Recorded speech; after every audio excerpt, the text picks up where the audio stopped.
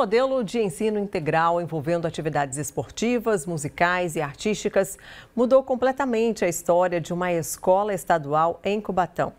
A Parque dos Sonhos era alvo de criminosos, estava praticamente abandonada. Hoje, a realidade é completamente diferente. Os alunos não queriam frequentar a escola que chegou a ser chamada de Parque dos Pesadelos. Tinha muita violência, tinha violência dentro da, da escola, a violência estrutural, tinha racismo, tinha e, e, fora também. Então tinha muito vandalismo. Então em 2015, se eu não me engano, 2014, 2015, entraram na escola e roubaram todos os computadores que tinha aqui na escola. Então ninguém queria estudar aqui, até porque é uma escola afastada, está no fundo do bairro. Realmente eu como professora tinha medo de entrar no bairro, porque a fama não era boa, né? E eu falei, não, é, não posso desistir assim. Em 2015 foi iniciado o Programa de Ensino Integral, o PEI, que visa a formação tradicional com a grade curricular obrigatória, junto com atividades esportivas, culturais, artísticas, musicais, entre outras. O foco é no desenvolvimento humano. Em 2015, começou com 240 alunos o PEI. Só que eles entendiam que seria como se fosse a escola total de Santos, que tem a base nacional comum de manhã e à tarde a, a parte esportiva. Como não foi assim, então metade dos alunos desistiram. Então, em 2016 começou só com 116 alunos, que foi quando eu cheguei aqui na escola. E quando eu olhei, falei, pô, só tem 116 alunos, bom, dá para fazer um trabalho forte. Só que ao mesmo tempo eu sentia que eles não queriam, porque eles falavam, ah, aqui é tudo diferente, aqui a gente não consegue, aqui é muito difícil, tinha essa questão da autoestima muito baixa. E aí a gente começou a fazer um trabalho de fortalecimento, de pertencimento, de falar, ó, aqui é todo mundo é parque, aqui a gente todo mundo vai mudar essa comunidade, né? Aqui vai ser a melhor escola do estado em cinco anos, essa era a narrativa que eu trouxe. E além dos projetos, acho mais importante olhar para os alunos como seres humanos, falar assim, ó, você é um ser humano, você tem um nome, tanto que aqui a gente não chama aluno de aluno, não chama pelo número, não chama por apelido, chama aluno pelo nome, porque é o principal reconhecimento dele, dele se sentir ser humano. O projeto de patinação da escola Parque dos Sonhos começou em 2017, com apenas nove alunas. Hoje já são 83. Este ano elas participaram de uma competição envolvendo todos os países do Mercosul. E uma das campeãs saiu desta quadra. A minha experiência foi que eu entrar naquela quadra e arrasar. Eu chorei bastante, eu senti muita felicidade porque minha primeira Copa e ganhando em primeiro lugar é muito legal. Eu amei. As alunas são acompanhadas por uma professora de educação física e uma especialista na modalidade.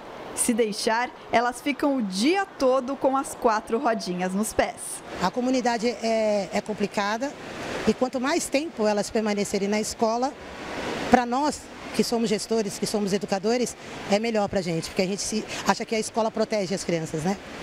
E aí eu falei, eu vou atacar de, um, de patinação artística.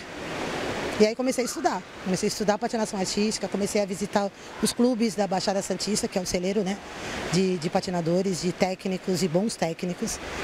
E aí fui à luta, fui buscar informações, fui pesquisar. E o ano passado a gente foi para a primeira Copa Mercosul. Aí já tivemos pódio, fomos com três atletas, as três atletas pegaram pódio. A Ana Lívia também foi medalhista na Copa Mercosul de Patinação Artística, que reuniu mais de mil competidoras. Quando ela soube do projeto, pediu para mudar de escola. A outra escola que você estudava antes de vir para cá, como é que era? Então não era tão legal assim, né? Porque não tinha esse tipo de projeto. Era tipo assim, era só almoço e voltava para a sala, era café e voltava para a sala, a gente não brincava. A gente só comia e voltava para a sala, a gente não brincava. A gente tinha até uma sala de brinquedo só para a gente brincar só. A gente não brincava no pátio, não tinha quadra na nossa escola. Aí eu, eu fiquei sabendo sobre a escola do Parque dos Sonhos, né? Eu falei assim, mãe, eu posso participar da escola Parque dos Sonhos? Aí eu falei assim, ela falou que eu podia, aí ela me colocou nessa escola. A gente passa muito tempo aqui, né? Então a gente tem as aulas normais, Aí a gente tem, assim, toda escola tem, né? Mas as nossas é muito, muito melhor.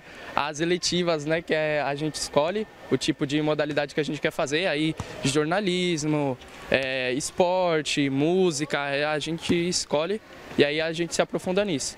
Tem os clubes, né? Que os alunos se juntam e participam de atividades. Outro esporte premiado é o vôlei.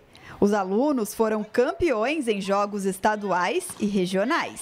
Nós temos uma quadra maravilhosa, acredito que uma das melhores quadras é, que tem na Baixada.